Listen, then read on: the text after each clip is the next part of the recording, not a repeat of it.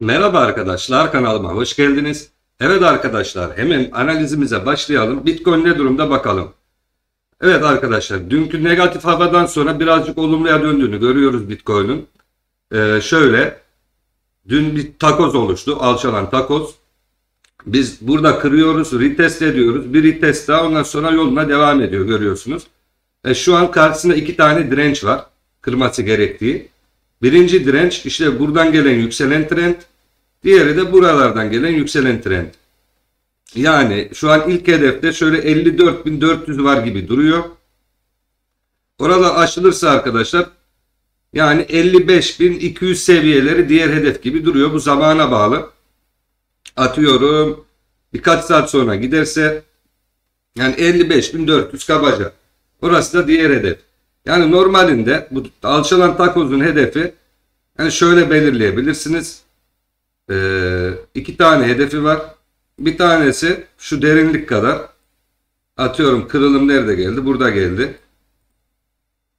Yani hemen hemen başladığı seviyeye geliyor yani. Oralar potansiyel hedef olacaktır. Neresi sonra 57 bin dolar. Ama önce bu dirençlerin aşılması lazım. Neresi mesela 54.400 daha sonra da 55.400. Oraları açmamız lazım. 55.400 üzerinde tutunursak arkadaşlar potansiyel olarak 57.000'lere doğru gider diye düşünüyorum. Yani bu takozumuzda durum bu şekilde. Bir de şöyle yükselen bir trend çizebiliriz. Şu şekilde.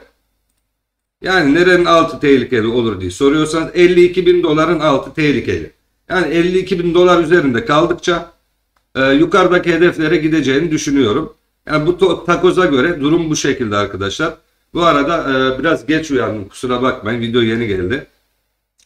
Diğer taraftan neyimiz var mesela şöyle az büyük resimden bakalım. Şöyle 4 saat grafiği alayım mesela. Bakın çok önemli bir trend çizgisini kırdık biz Bitcoin'e biliyorsunuz. Ta 17 bin dolardan gelen yükselen trend. O trendin üzerine atmamız gerekiyor arkadaşlar. Mesela nerede orası? 55.400 seviyesinde. Yani demin de 55.400 direncimiz vardı biliyorsunuz. Yani orası çok önemli. Yani bu çizginin üzerine atamadıkça yani tekrardan düşüş trendine girme potansiyeli var. Şimdi arkadaşlar e, şöyle göstereyim size. Ara sayımızı açalım. Ayarlarını yapalım. Şu şekilde. Yani bakın bir trend var burada. İşte yükselen trend. Trend çizgisi üzerinde gidiyor. Daha sonra kırılıyor. Ve bu kırılımdan önce ne oluyor mesela? Şöyle günlük grafiği açayım ben. Daha net belli olsun. İşte tepeler yükselirken 3 tane alçalan tepe yapıyor arkadaşlar. 3 tane uyumsuzluk veriyor. Ve o esnada da çizgi kırılıyor. Yani normalde bu çok e, sıkıntılı bir sinyaldir arkadaşlar. Hani e, trendi döndürebilecek nitelikte bir sinyaldir. Ama dediğim gibi biz aşama aşama gidelim. E, 55.400'leri takip edelim. Orayı kırar mı kırmaz mı? Yani şöyle üzerinde gün kapatacak. Ya bir de eğimli olduğu için mesela bir gün şöyle 55.400 desek yarın da 55.700 seviyelerinde falan olur yani. Orayı da ayrıyeten takip edeceğiz. Şimdi haftalık grafikte bir de şöyle bir durum var. Bugün vadeli işlemlerde kapanışlar biliyorsunuz haftalık kapanışlar. Şöyle göstereyim. Haftalığı alalım. Şu şekilde. Yani şu an üçlü negatif uyumsuzluk teyitli gibi duruyor neredeyse. Haftalık CME'de. Yani bugün bizim 58.800 üzerinde kapatmamız gerekiyor haftayı. Bunu yapmazsak vadeli işlemlerde bugün üçlü negatif uyumsuzluk teyit edilecek arkadaşlar. Bu da ayrıyeten sıkıntılı bir sinyaldir. Yani o da düşüş trendine işaret eder genelde. Şöyle yapalım bir de neyimiz vardı? Hmm,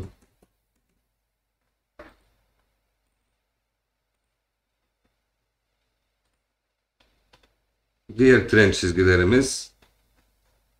Şunları kapatayım. Biraz karışık arkadaşlar.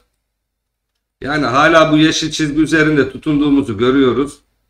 Yani normalde şu beyazı retest yapacaksa 60 bin dolar gibi duruyor. Ama dediğim gibi önceki dirençleri kırması gerekiyor arkadaşlar. Ona bakacağız. Neticede daha farklı trend çizgileri de çizebiliriz. Mesela şöyle bir düşen trend de oluştu. Daha oraya da gidebilir. Yani dediğim seviyelerin kırılması gerekiyor açıkçası. Ama şimdilik kısa vadeli yön yukarı gibi duruyor. Süper trendde durum ne bir de ona bakalım. Şöyle.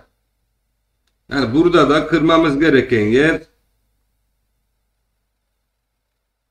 55.920 diyelim arkadaşlar. Oranın üzerinde de 4 saatlik kapanış gelmesi gerekiyor. O zaman tekrardan al sinyali verir.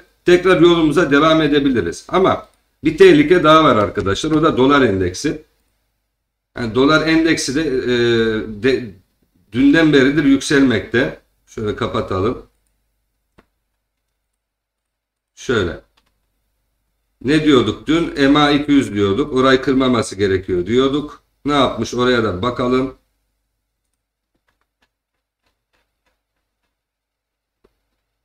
Şöyle. Bakın orayı da kırmış arkadaşlar. Orayı da kırmış. Bu da ayrıyeten sıkıntı. Şimdi dolar endeksinde şöyle bir detay var. Oraya geleyim. Mesela ortalamaları kapatalım. Şöyle arkadaşlar. Bakın şimdi burada dolar endeksi artık yukarı yönlü gittiğini görüyoruz. Hani eğimi iyice vermiş. Kademeli kademeli yükseliş trendine geçeceğini düşünüyorum dolar endeksinin. Mesela 2017 rallisinde biliyorsunuz Bitcoin uçtu, altcoin'ler uçtu vesaire değil mi? O esnada dolar endeksi sert düşüyordu bakın. Tam şura Aralık ayı 2017 dolar endeksi düşüyordu. Sert düşüyordu.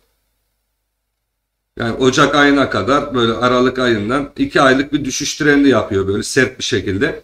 O esnada da Bitcoin ve altcoin'ler uzaya fırlıyordu. Daha sonra ne oluyor? İşte dip yapıldıktan sonra yükselişe geçiyor. Ondan sonra bütün kripto paralar çöküşe geçiyor.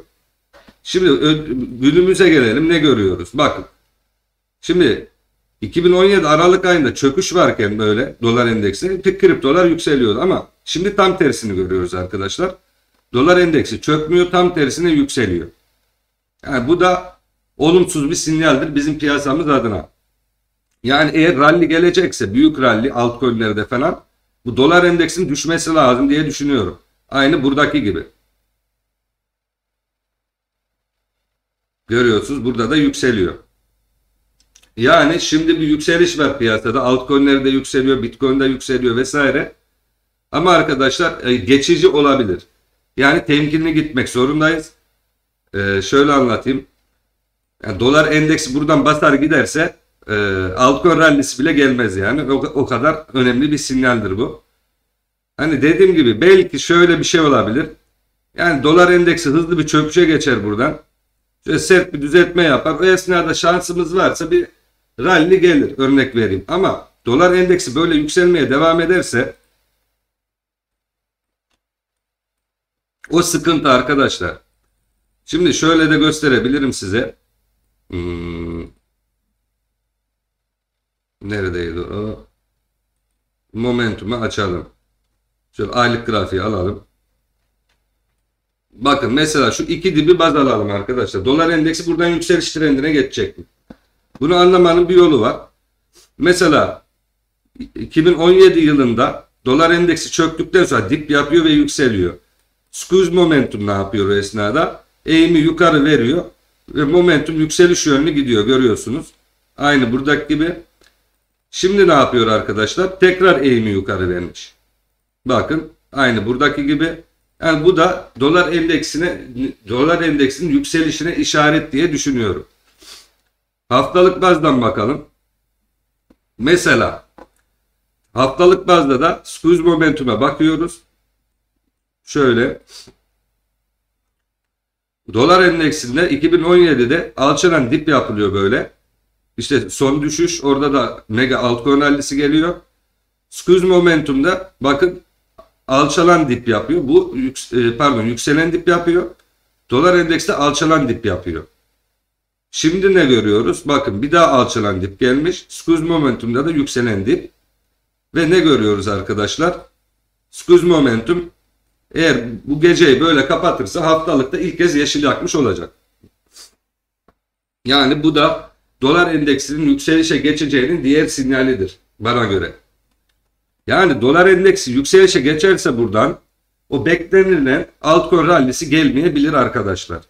Bu uyarıyı şimdi de yapayım ben. Kısa vadeli yükselişler gelir diye düşünüyorum. Şu an olduğu gibi.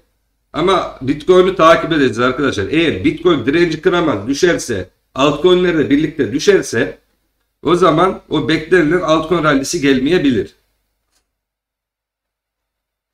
Yani öyle ciddi sinyaller var burada arkadaşlar. Şimdi biliyorsunuz yani dolar endeksinde ben aylar önce daha daha da düşeceğini düşünüyordum biliyorsunuz. O bir beklentiydi arkadaşlar. Hani aylar öncesinden geleceği tamam tahmin edebilirsin ama bilemezsin tabii ki. Ve benim beklentim neydi? İşte dolar endeksinin Mart ayında biraz daha düşeceği yönündeydi. Ama olmadı maalesef. Yükselişe geçti dolar endeksi. Şimdi böyle güçlü dururken dolar endeksi bilmiyorum rally gelir mi? Şimdi biraz da realistik olmak istiyorum. Şimdi 10 yıllık bir trend çizgisi var dolar endeksinde. Bakın şu. Ora kırılıyor, retest düşüyor değil mi? Şimdi ne olabilir mesela? Tekrardan reteste giderse o zaman piyasamız çöker. Öyle söyleyebilirim. Ama geçen de bahsettim. Bu yıl tekrardan bir boğa sezonu gelir diye düşünüyorum. Hani iki tane boğa sezonu. Bir tanesini şimdi yaşadık örnek vereyim. Bir tanesi de yıl sonuna doğru gelir diye düşünüyorum. Şimdi şöyle bakın dolar endeksi en son yükselişe geçtiğinde şöyle günlük grafiği alayım. Şu bölge arkadaşlar bakın ne kadar sert yükseliyor görüyor musunuz? Tarih ne? Mart 2020. O tarihlerde ne oldu arkadaşlar? Deli gibi para bastılar değil mi? İlk başta çok sert yükseldi dolar endeksi. Ondan sonra çökmeye başladı. Bu para basmanın yan etkilerini gördük. E şimdi tekrar para basıyor bunlar. Yani ve dolar endeksi yükselmeye başlıyor. Yani kısa vadeli atıyorum birkaç aylık yükseliş trendine girer ama daha sonra faturasını ağır öderler diye düşünüyorum. O da şöyle olabilir. Dediğim şekilde kırmızı çizgiye kadar gider. %95'lere doğru ve oraya giderse atıyorum dolar TL'de fırlama görürsün. Ondan sonra kripto paralarda çöküş görürsün. Yani dolara karşı her şey değer kaybeder yani. Eğer o yükseliş gelirse. Yani böyle bir sinyal var neticede. O yüzden temkinli gideceğiz. Hem bu sinyal var hem Bitcoin'de negatif uyumsuzluk var. Yani Bitcoin'de nereyi takip edeceğiz? Şöyle göstereyim tekrardan. Yani şimdilik bu çizgileri takip edeceğiz arkadaşlar. 54.500 ondan sonra da 55.200 seviyelerini takip edeceğiz. 55.200, 300 o bölgeler. Oralar önemli. Kırılırsa da 57.000 dolar He, ondan sonra ta- takip edeceğiz arkadaşlar durumları. Dolar endeksi çökecek mi, yükselişe devam edecek mi, Bitcoin desteği kıracak mı vesaire. Yani dediğim şekilde arkadaşlar pek hoşuma gitmedi dolar endeksindeki o sinyal. Ee, o yüzden temkinli gitmekte fayda var. Böyle piyasa biraz toparlasın, biraz geçsin aradan. E diyeceğim ki eğer gerçekten negatifse arkadaşlar hani altcoin rallisi gelmeyecekse bir yerden sonra sepetleri sattıracağım ben. Şöyle birkaç gün daha izleyelim onu. Ona göre sepetler satılabilir arkadaşlar. Onun duyurusunu şimdiden yapalım. Yani eğer rally gelmeyecekse boşu boşuna beklemeye gerek yok. Şöyle altcoin'lere bakalım bir. Mesela dominansa.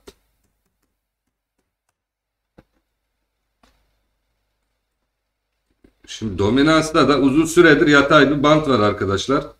Görüyorsunuz yani çok uzun zamandır şu bantta gidiyoruz. Yani iki ay oldu arkadaşlar. Ee, iki ay da geçti. Bu bantta gidiyoruz. Bir türlü düşmüyor. Şimdi bir yerde ne kadar takılırsa oralarda da kendine yer ediniyor. Örnek buradaki gibi çok takıldı tekrar bastı yukarı. Şimdi şöyle aylıkta sat sinyali var biliyorum. Mesela ne o? Şurada hacimleri göstereyim. Rekor hacim mumları var değil mi? Bu bir sat sinyaldir. Yani aylık grafikte trend döndü anlamına gelir. Yani şöyle hemen birden düşmesine gerek yok arkadaşlar. Şöyle yükselir, tekrar düşer, dalgalanır derken neticede düşüş trendinde olur. Kademe kademe düşer. İşte bu kademe kademe düşerse diyelim mini bir ayıya girdik. E, o zaman dominans tekrar yürür böyle belki. Aradan birkaç ay geçiyor, 4 ay falan yeni bir boğa rallisine giriyoruz diyelim. O zaman da arkadaşlar tekrar düşmeye devam eder ve düşen trendini bozmaz büyük resimde.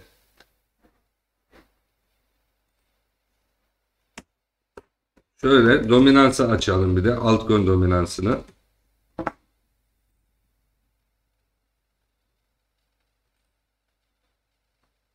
Haftalı alalım.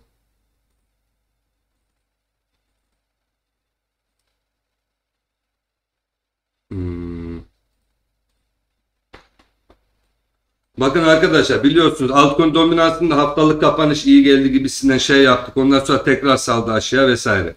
Yani çok önemli bir bölgeye geldiğimizi görüyoruz. Şimdi bu grafik şöyle diyeyim arkadaşlar. Her boğa rallisinde altcoin'lerde buraya ulaşmışız. Bakın ilk altcoin rallisinde tam bu noktaya ulaştık. Görüyor musunuz? Oradan düşüş trendine geçti. Altcoin'ler ayıya girdi. Bu noktada da aynı o şekilde oraya vardık. Altcoin'ler ayıya geçti. Bir daha oraya gittik atıyorum. Oradan da ayıya. Bir daha gittik oradan da ayıya. Yani bu bölgeyi hiçbir zaman kıramadığını görüyoruz. Üzerine iğne falan geliyor. Şimdi şöyle. Yani bakın tam böyle rekor iğnesine kadar attı. Şöyle göstereyim. Bakın rekor iğnesine attı. 2017 rallisindeki yaptı. Oradan düşüşe geçti. Şimdi arkadaşlar bu da önemli bir yerdir bana göre. Yani ne malum bunun yukarı kıracağı bir de o var tabi. Şimdi dolar endeksinin yükselişe geçmesi her şeyi değiştirebiliyor arkadaşlar. Yani bu gerçekten önemli. Şimdilik altcoin'ler tepki yükselişinde, bitcoin tepki yükselişinde. Yani şimdilik beklemekte fayda var. Ama bakalım bir, birkaç güne böyle olumsuza giderse her şey yani altcoin rallisi işi belki askıya alınabilir arkadaşlar. Bunu da söylemiş olalım. Yani biliyorum pek hoşunuza gitmeyecek bu söylediklerim. Ama e, geçmişe bakınca arkadaşlar o altcoin rallisindeki şu anki zaman aynı değil. Bak tekrar göstereyim. Yani bakın bu Aralık 2017 dolar endeksi düşüyor. Şimdiki zaman dolar endeksi yükseliyor. 2-3 hafta önce biliyorsunuz altcoin'ler çok güzel yükseldi. O esnada dolar endeksi düşüyordu. Şöyle. Yani pardon e, işte bundan 3 ay önce başladı mesela altcoin'lerde güzel yükseliş. Artık mini bir rally mi diyelim ne diyelim. Hani kimileri 100x bile yaptı biliyorsunuz. O esnada işte bu dolar endeksi düşüyordu böyle. E şimdi yükselişe geçti mesela. Geçmiş rallide de dolar endeksi düşüyordu. Dolar endeksi dip yapınca ondan sonra altcoin rallisi bitiyordu arkadaşlar. Ondan sonra dolar endeksi yükseliyordu. Yani yorum sizin arkadaşlar. Yani çok sert düştü altcoin'ler. O düşüşün bir düzeltmesini yapıyorlar şu an. Kimileri all time high da yapabilir. O ayrı konu. Şöyle diyeyim arkadaşlar. Böyle teker teker böyle 2x'ler gelmedikçe altcoin'lerde bir baktım bir tanesi 2x yapmış. Bir baktım öbürü 2x yapmış. Öyle bir durum olursa ha deriz. Altcoin rallisi gelecek devam edecek. Ama böyle normal yükselişler geldikçe altcoin'lerde dolar endeksi de yükseldikçe e, yani biraz dikkatli olalım derim bu konuda. Neyse arkadaşlar şimdilik anlatacaklarım bu kadar. Kendinize çok iyi bakın. Görüşmek üzere.